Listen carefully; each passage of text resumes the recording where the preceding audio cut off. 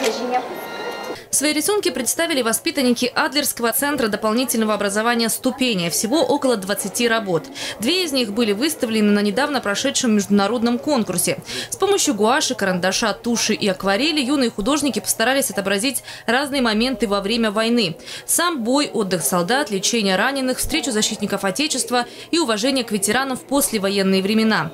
Организовать небольшую выставку ко Дню Победы в общей зоне сектора международных авиалиний было решено не случайно. Сейчас как никогда очень важно привлечь внимание не только детей, но и остальных людей, которые вот здесь в аэропорту пролетают, а, к проблеме. Эта проблема нависает над нами, к сожалению, снова.